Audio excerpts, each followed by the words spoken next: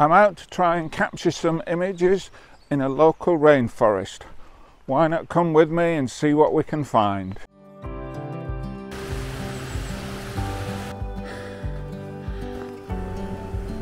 can hear me above the roar of the water.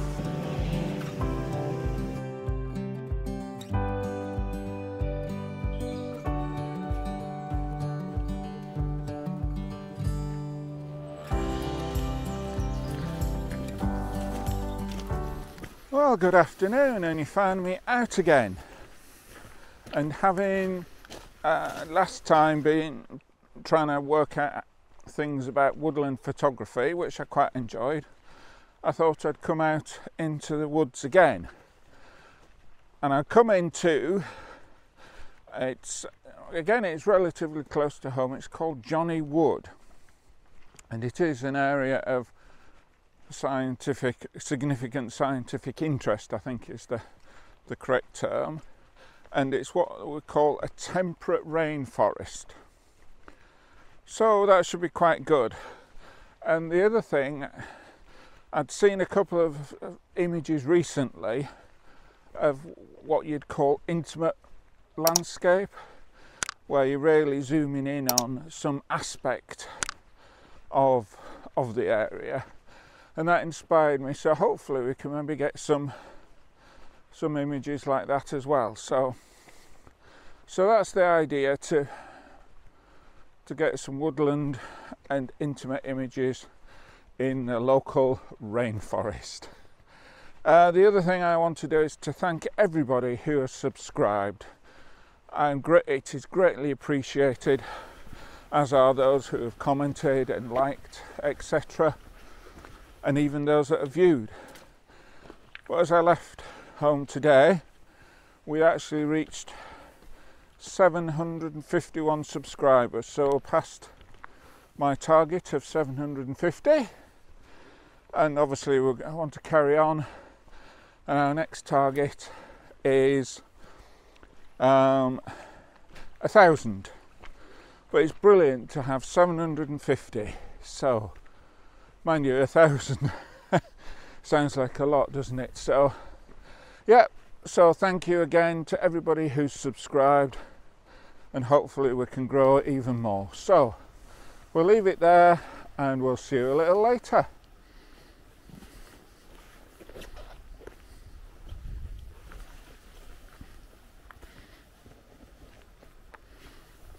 Right.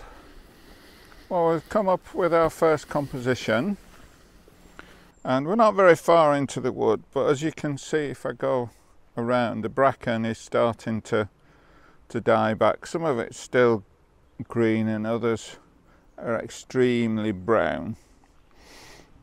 And what caught my eye, and hopefully I can um, show you it, if we just come near to the It's, um,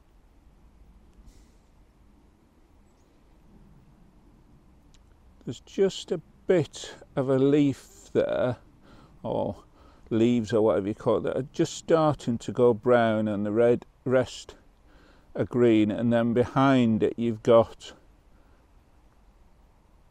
a, a lot of definitely brown leaves and I was just trying to catch the I don't think this camera does it justice, just trying to catch that, uh, just showing that we're getting to autumn and the colours are starting to change. I was going to show the back of the uh, the camera, but I know I don't know whether what we can. I don't know whether you can see that or not. It, it's very difficult because it, uh, it, it's glaring off off the camera. So yeah, but I think I think that's quite I, I quite like that, uh, and that's what I mean by into it. Just zooming right in rather than getting the um, the grand vista, which may even be a whole tree. But yeah, I mean, I'm hoping as we get into this, we'll find the areas where it is more akin to rainforest with a lot of moss and that on on the walls, etc. Have have been here once before when I was going up. Um, I'm thinking what the call is. it called Doat? Doat Fell, Great Doat, or something. I'll, I'll put the name up. Um, I think I'd, i might have done a video then, and I, I did take some images. But this is specifically to look around the woodland. So yeah, we'll put that one up, see what you think of it, and we'll see you a little bit later. Thank you.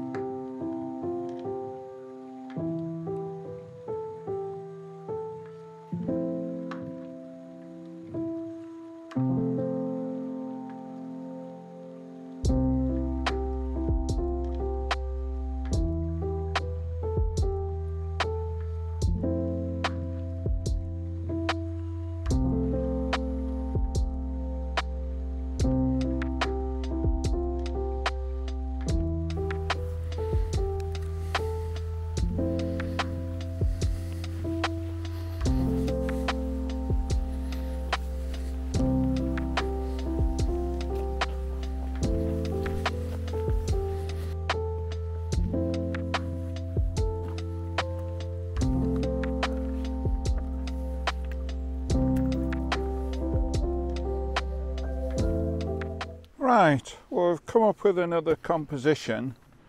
Uh, the path we were on before where we took the, captured the image of the fern, that took us out of the woods, but we've managed to find a path coming back through. And as I was coming through, I spotted this boulder, or moss coloured, covered boulder, and I thought it was might add some foreground interest. So you can see the cameras there. So what we've done is, I'll bring the,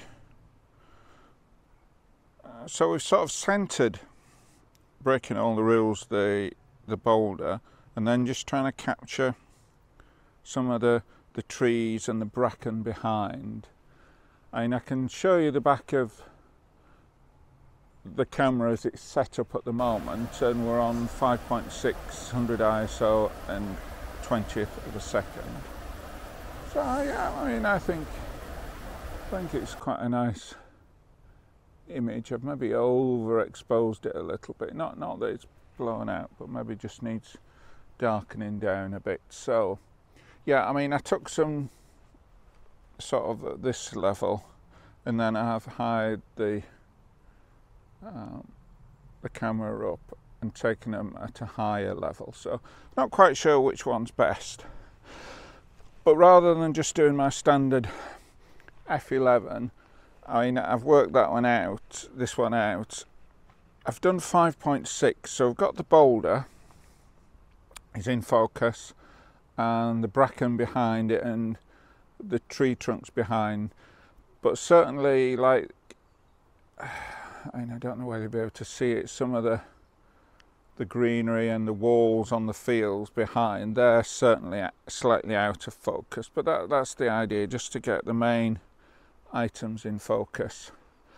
Follow, following last week's video where we talked specifically about f-stops, etc. But with this one, with in a sense wanting both the boulder and the, trees just behind in focus. I did a 5.6 now. I'm actually using my wide angle lens and that'll only go down to f4. I'm not quite sure how that would be, but if I'd got the other lens on and gone to 2.8, I would have struggled, I think, to get everything that I wanted in focus in focus. But if I go up to F, F11, and then maybe starting to get things in focus that want slightly out of focus. So yeah, we'll see how that is. We'll put it up on the video after this and we'll carry on and see what else we can find. So yeah, we'll see you a little bit later.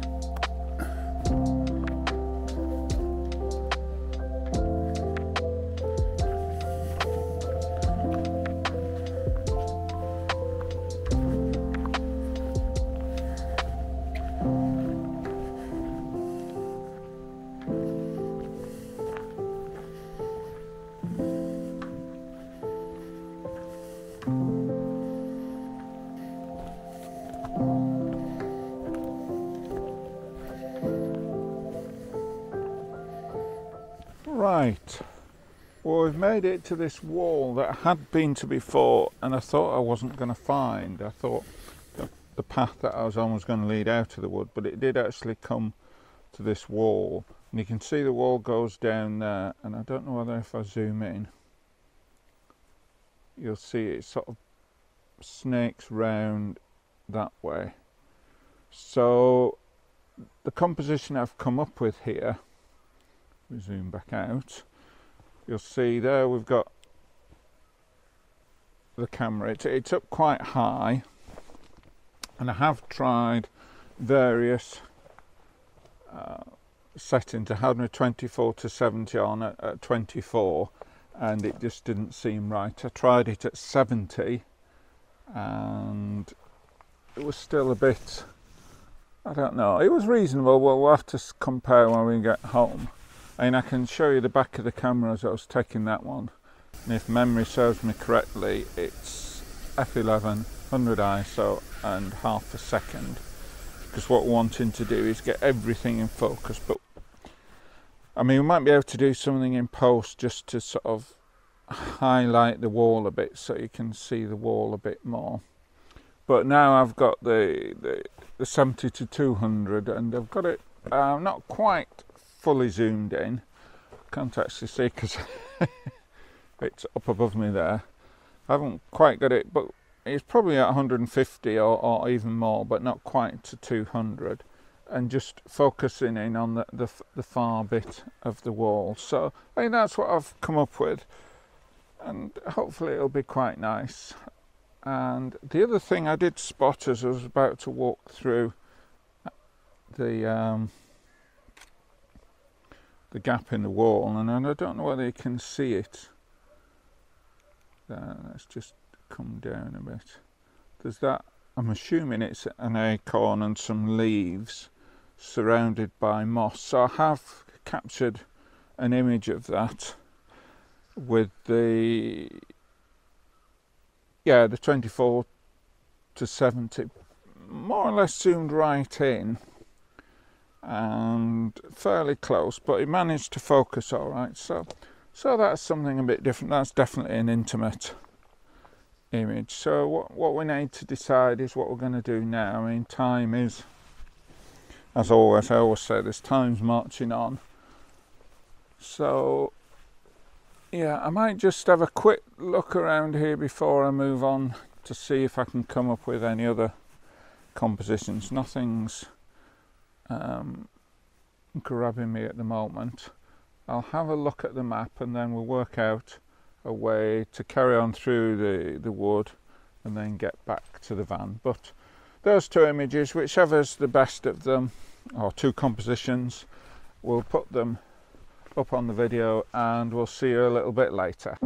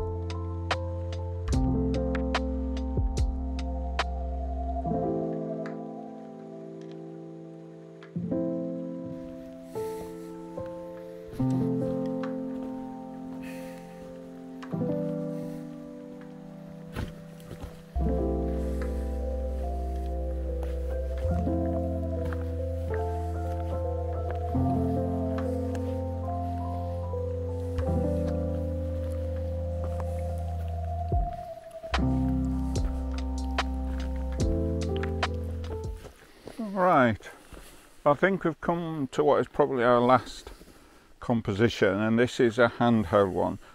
As you can see there's this tree fallen tree and going up to the what would have been the branches etc up there. It's interesting although it's not really going to impact on the image. You can see there that there is actual bits look as though they're possibly growing. So maybe it's not totally dead. Maybe it is going to grow on the branch there. I don't know whether you can see it but but the composition was to get quite low, difficult to get the tripod, that's why I've done it handheld, and a similar composition to what you can see there. So yeah, it'd be interesting to see what it looks like when I get it on the computer and process it. So I think that's probably going to be the last one because we're going down towards the river now. Once we get there, uh, we're really out of the wood. But if anything crops up in the meantime, I don't know. We'll, we'll have to wait and see. But yeah, we'll put that image up and we'll see you a bit later.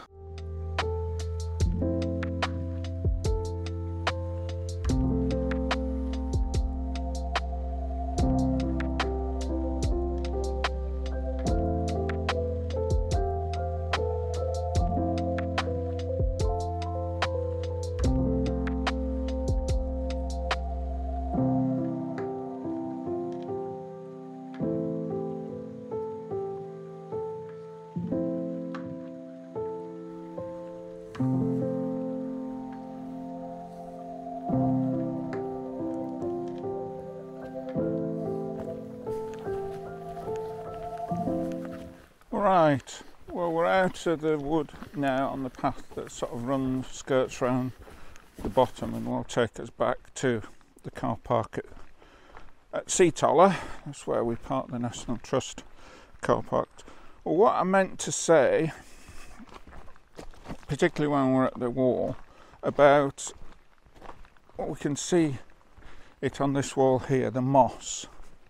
If we just come a bit closer, we can see there the moss. And that's what you get all this moss and that's why what makes it um, a temperate rainforest. Without the amount of rain in that the moss wouldn't grow. And it's everywhere. And we can see some there on these rocks and if we look up to the tree there the tree trunk have got moss on the tree trunk and eh, on some trees it's on on the branches so that is one of the um,